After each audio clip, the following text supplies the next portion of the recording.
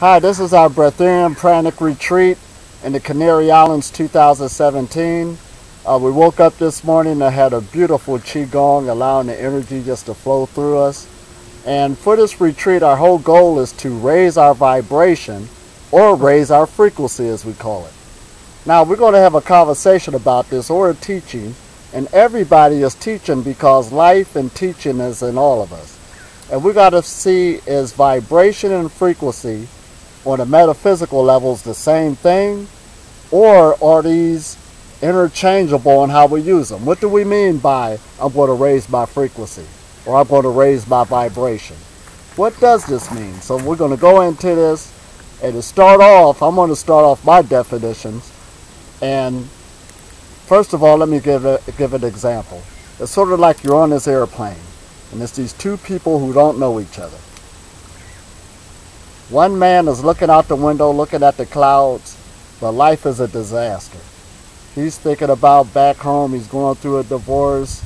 He's thinking about what job he's going to get next. He don't got nowhere to live. So this is where his mindset is as he's sitting on his airplane. There's a man sitting on the other side who's looking out the window, looking at the clouds, and he's saying to himself, look how beautiful those clouds are. Look how beautiful the sun, are, sun is. Boy, life is sure good. So these two men is on the same plane. They don't know each other. They got two different thought processes.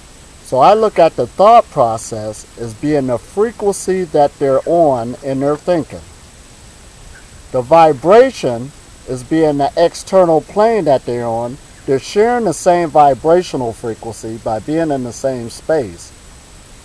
But they're on different frequencies of thought because they don't know each other, nor they might not even have a conversation because they're not on the same frequency.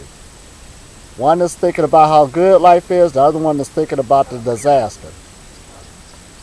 Now, let's just bring another scenario in. The one who's thinking about how good life is, he start talking to somebody else about how good life is. These two frequencies met because they have something in common. But the guy who's what? Life is a disaster, met another guy who you think your life is bad, you should hear this. All right, these two frequencies met. Now they all share in the same vibrational space, but they don't meet due to the frequency of thought they own. They only meet the, the frequency of thought that they're catering to. So that's how I'm starting it off. So right now we got our other people here, some agreeing and some got more to say. So let's start off with who want to start off first. We got Wally, mm-hmm. we got Angeline, and we got Sabrina. I'm Blackie. and Blackie, Blackie the dog. Blackie. All right, so you can start it off, Wally. I know you got something to say. Mm-hmm. Good. All right, so to me, frequency is frequency is about it's about what you're thinking, but it directly correlates to the concept of a vibration because your frequency affects your vibration. If you're looking at life in a positive way and you want to improve, then you're going to increase your vibration at the same time.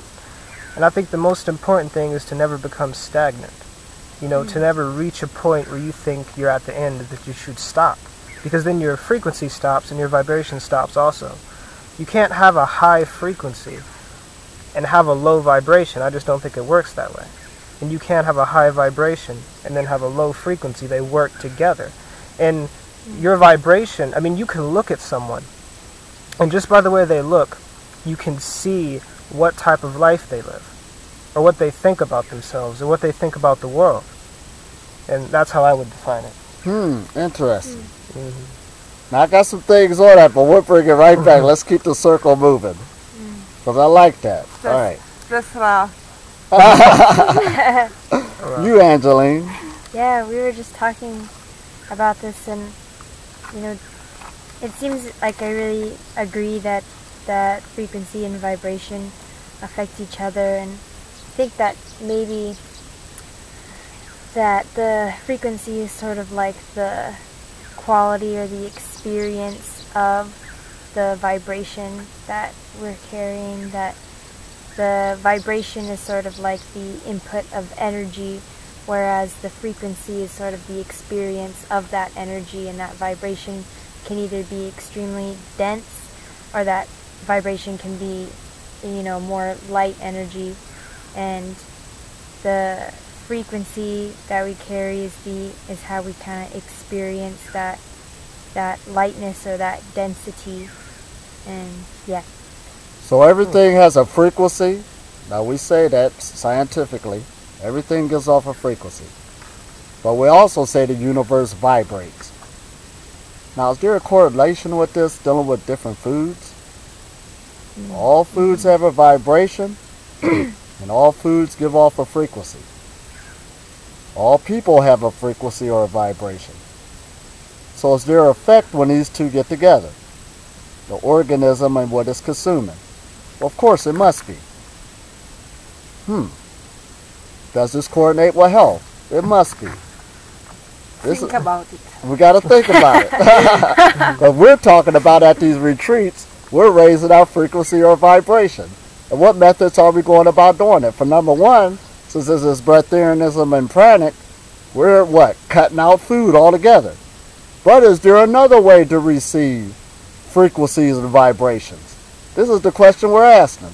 Is it far fetched? Can a human being go to that level? Uh oh. Because keep in mind that all truth is a half truth. And all things can be challenged because we're in an age now where all knowledge is being challenged. And this morning as we was doing our Qigongs and we felt the vibration, our bodies vibrating, we all felt that.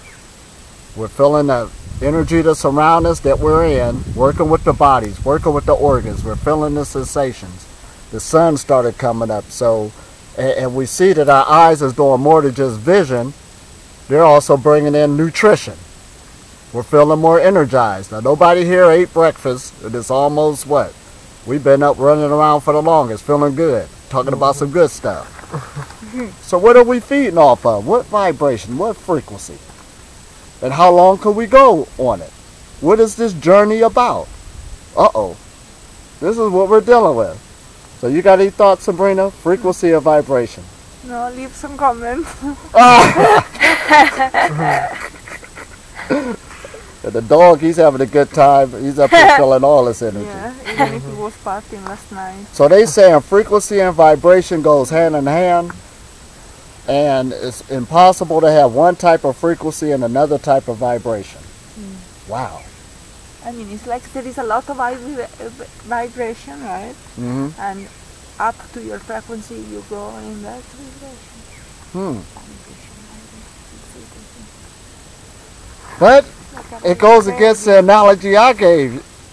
Because I'm talking about these people are on a plane hmm on the same vibration because I looked at it as the environment. Yeah, yeah. Yeah, but but their frequency of thought was different, so it changed the perception on how the plane ride was. hmm And that changes the environment. And that changes the environment. That's the thing about it. okay. I mean, someone who's riding a plane could be having a terrible time, but that's how they perceive the environment. Mm-hmm. Right. You know, if I have a higher vibration than you, that doesn't mean I'm going to be on a different planet.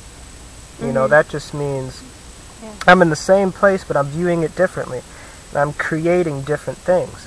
I mean, if I see something in the environment that you don't see, right. in a mm-hmm. sense, I created that because I'm looking for it. Yeah. Mm-hmm. You know what I mean? Right. And that's that's how I view it. Mm-hmm. Absolutely. And see, it's just like the last retreat we had. We dealt with breaking preconceptions, what, what people thought a breatharian was.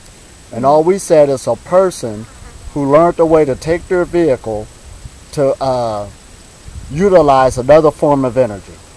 So it's sort of like when a car's in a parking lot. One car is on gas using fossil fuels, but another car will pull right beside it and it's running off of solar energy because people think a breatharian is living a life totally separate from these other vehicles. You're not allowed to be with the other vehicles. You're supposed to be in a mountain somewhere. but we're trying to tell you, no, this solar car could come in the same parking lot with the other cars just running off another form of energy. So it could break these preconceptions. Yeah, you could be in the movies and, uh, you know, with one vehicle on fossil fuels and then another car pulls up, uh, feeding off of water power. They're in the same movies, watching the same movie. Different perceptions using a different fuel. So that's a preconception is being broken. When people are saying, "Oh, you breatharian, you're not supposed to be here, not supposed to be doing that," And you're saying I'm just using another energy source. But you're still a human being. You just chose and reconditioned yourself to transform the vehicle to run off another energy source. Do that make sense? Mm-hmm. Yeah. So we're just breaking the preconceptions, and this is what these videos is all about.